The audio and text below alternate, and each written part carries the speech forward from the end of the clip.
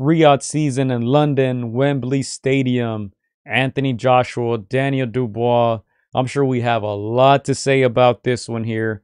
Um, I'm gonna go ahead and pull up the predictions on you guys' screens because man, you said this is the one that can separate me, and you got it. We both got the Munguia one. Let me go ahead and make it bigger for you guys. Let me make it bigger on your screen so you guys can uh, see it there. Uh, we're we're on a good roll. We're on a good roll. Uh, I think you got like five, six in a row right now. The Joshua one kind of killed me, but you know you took the risk. Daniel Dubois. Hindsight, I'm sure you were happy about that. To me, it was a 50-50 fight, so that that that wasn't a bad risk right there. It's a heavyweight division. Both guys could punch. One guy proved that he can take the punch better, and that was your boy Triple D, Daniel Dubois. Daniel Dynam- Dynamite. Getting a triple D, yeah, just Gio. to me, he's still Daniel Dubois, double D. oh, there's only, there's only a few triples, man. No there's Diddy, no Diddy, no Diddy.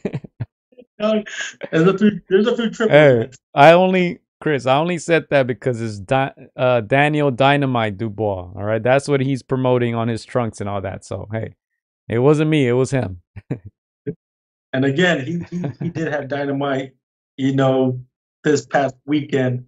And yeah, you're right, Gio. Uh, if you see the clip where where I do my prediction, I didn't say it all fully confident. Again, that right hand of Joshua is one of the, you know, one of the the deadliest weapons in boxing, and I was nervous you know, even through the fifth fifth round. Again, we know that the the safe bet, the safe prediction is to go for Anthony Joshua. He's a proven champion. He's been to the mountaintop. Like I said, he's got the experience, the name, the backing. Trust me, when I saw the the, the fight, those ninety six thousand British fans, I I, I want to say ninety percent of them were probably screaming for Joshua.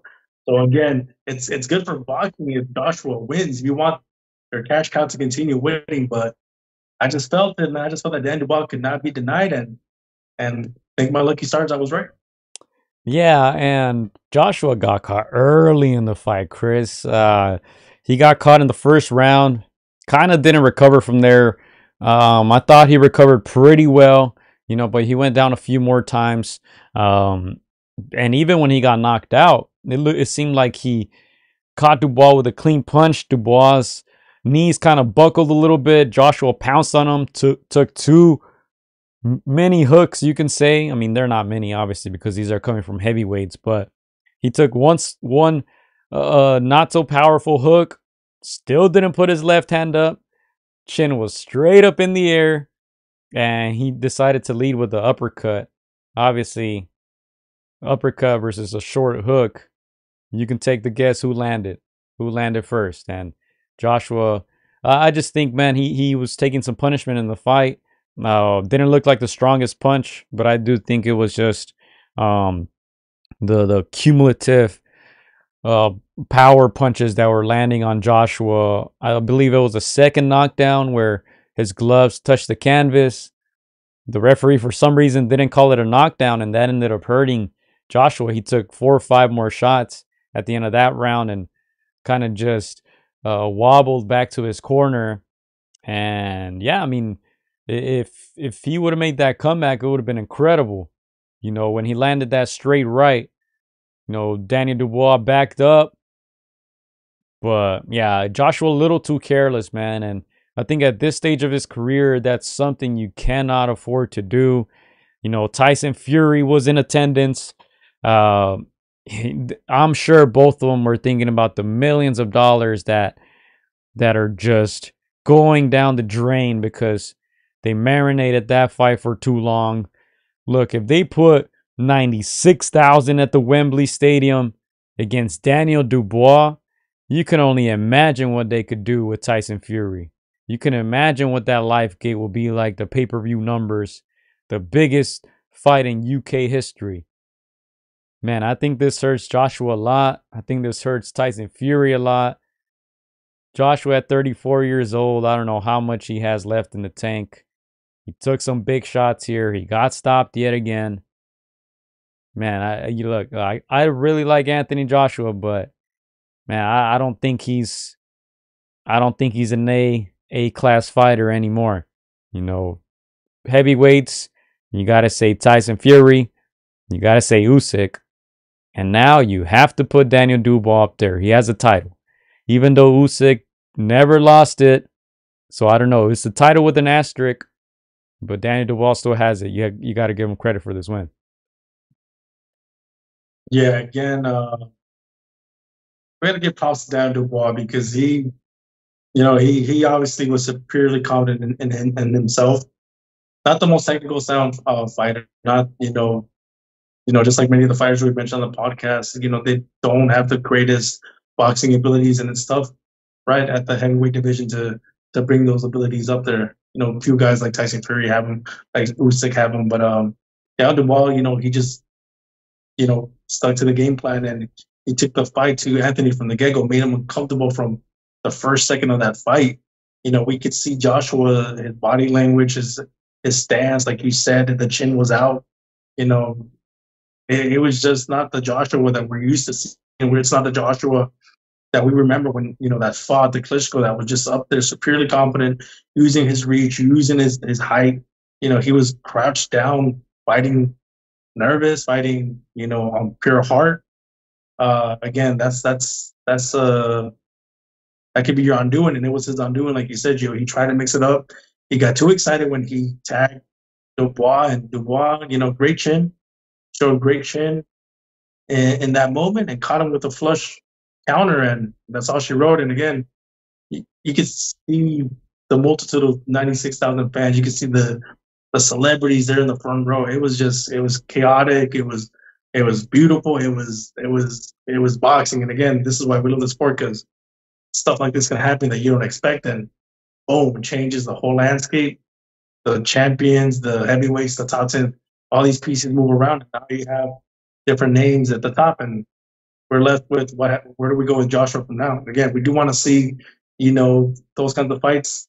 You know, the fights that we wish we would have gotten that are that over marinated. He's closer to fighting uh Deontay Wilder now than Anthony Fury, in my opinion. Damn. Damn. Look, I, I think we can definitely look at potential next opponents for Joshua. The heavyweight division right now is hot. I think there's still big names for him. As I said, I think he's done being being an A level fighter, but I think he could fight guys like Zhilei Zhang, Chris.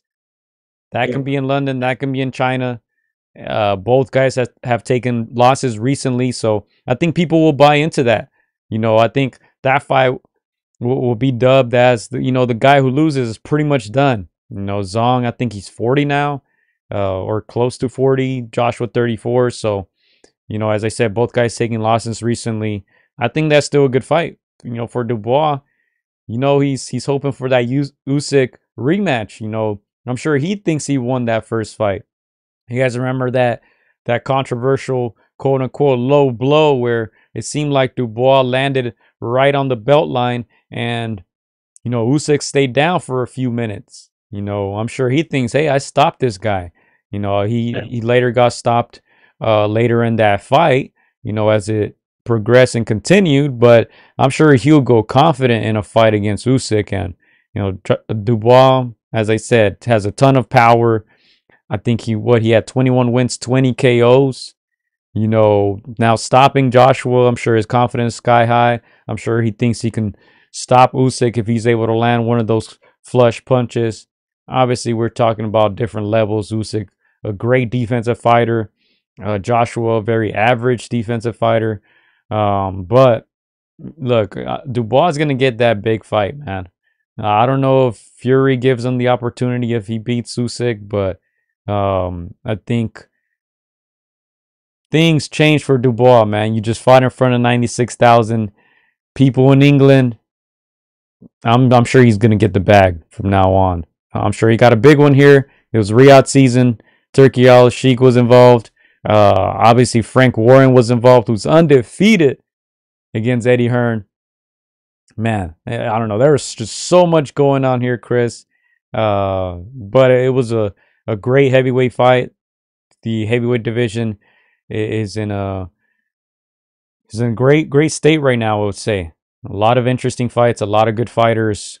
Um, obviously Usyk, Fury, number one and two, however you want to put them, but everybody else below them, um, very good fighters, and even for the guys who lost, still good fights. You know, you you mentioned Deontay Wilder, man. I don't know. I don't know if I want to see him fight again, uh, especially against any of these names. But um, the fact of the matter is, right now the heavyweight division is hot. We had a great fight. This fight kind of flew under the radar. Obviously, it was Canelo month. You know, all the headlines were all about Canelo. This fight was $20 pay per view here in the States. Uh, not sure if those numbers will be announced, but I don't I don't think it matters, Chris. 96,000 96,000 at the Wembley Stadium. Yes, again that just shows it shows the power of, of the names that Joshua's like well let's let's be real. It was because Joshua's had, had such huge name and like you said, the state of uh, you know the heavyweight division with things like Tyson Fury and Usyk right there, you know, looking for the winner of this match. And yeah, I like you said, I I, I have Usyk one, Fury two, so I have a gold medal, silver medal, and Dubois I insert him right there in the third place at bronze medal. Uh, and he has the opportunity to match these guys if you know if Fury were to win, he's gonna have to wait a little bit because they're gonna want that rubber match. If Usyk is able to, you know, put a stamp on it and and end this, you know, come December, well, next in line to to take on Usyk, and I'm one of the guys, Joe, and I, you know, I love Usyk, you know, uh, but I I think that Daniel, you know, should have gotten that win. I'm one of those people that felt that was right on the belt line, you know, should have been a deserved, you know, 10, 10 count knockout, and he was robbed of that. That's one of the reasons why I did think he was going to win this fight because he's, you know, you know, he's like you say, he got that uh the IBF strap. You know, he hasn't earned it, and this was his moment, his coronation, to to feel like he is a champion. And he's got one thorn, one one warn, and that guy's name is Usyk, and and that fight has to be made. But again, there's your country made a cross. You've already gotten rid of one. I'm sure you want to get rid of the the other the other gypsy. So, like you said, this is a great time for heavyweights. It's sad that we no longer have the bronze bomber that Joshua was at the top of their game, like you said. But hey, we're here to see great fights, and and the names are at the top. They can give us those kinds of fights. I think we can all agree right now that Joshua would still defeat Deontay Wilder, correct? Oh, yeah, easy. I mean, Wilder. Easy, but uh, they're both they're both damaged goods, Gio. Hey, Wilder didn't even throw punches in his last fight. He he went twelve rounds. Didn't even throw a pu- Didn't even. Did he? Well, he land like eight punches. He broke a record, I think, for the lowest. Yeah. Yeah. That I think that's the fight to be made, and we've seen it with Joshua. One one huge knockout puts him back in people's people's minds. He may not be like you said, you know, the the fire he once was, but you're only as good as your last win. And so if you can get a huge win over a guy like like Deontay Wilder, which I think if we don't if they don't make that fight this coming year, people are gonna lose interest. It's gonna be like a lot of Danny Garcia kind of fight. Years later, we're like, so what? We don't care anymore. So this is the last time to make a crossroads. The winner, you know, comes back into people's psyche, and the loser has to retire. So that's that's an interesting fight that you can still make. And I think we know who wins and who loses, but hey, this is boxing. Yeah, let's let's go to some comments here. Interesting comments. Uh Parker was on the broadcast and said he wanted Dubois next. That would be a good fight. Parker's still in the mix. We forget how young Parker is. I believe he's 31, 32. And he's young. He's been he's been in the mix for a while and he has a ton of experience. Um so it's He looked good too. Yeah, he looked he looked good against Wilder, won every single round. Uh, Big Bro says AJ had him and got desperate and greedy. He says. He also says you didn't say it with your chest. uh, Joshua had him. He never had him. He never had his car. That's why the Fast and Furious. Shout out to Big Bro. AJ had faced easier competition, says El Pachuco recently. Ngannou and Wallin, he got too comfortable and it came by to back to bite him, he says. Trump, shout out to Trump saying Dubois is holding a WWF belt, but that was a great fight nonetheless.